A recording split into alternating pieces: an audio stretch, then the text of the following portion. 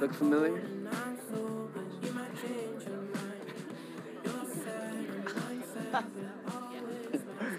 Feels so long ago. Yeah, like yesterday. Thank you, compa. For what? Believing in the unbelievable when no one else would. Finding Roller World, which led us to Lil Ricky. Without you, I wouldn't still be here. So again, thank you. Thank you for thanking me. Really? What? That's how you're gonna respond? Wait, let Jamal have his moment. Thank you. Listen to the lady, please. What lady? Where?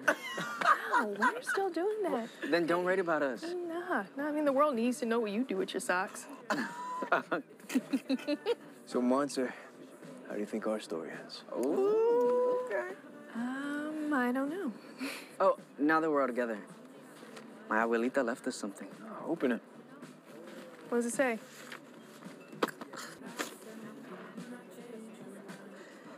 It's a map.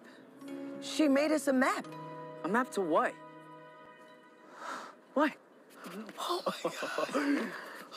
Okay, guys. I'm just gonna volunteer now. I think I should take lead on this. Wait. No. What do you Is mean? this Roller World again? Yes, it's Roller World I have to go to again. What else college. would it I be? can't do this. Well, you can go to college. While with y'all are figuring that out. Hey, you know. You can't be charged. You locked it. Where's Jasmine? I think in first. Monse, you went to Mason. You forgot your little credit. Wait, wait, wait, wait, about what you raising your voice? So you want to break the map? It's not a real Okay, go, go, go.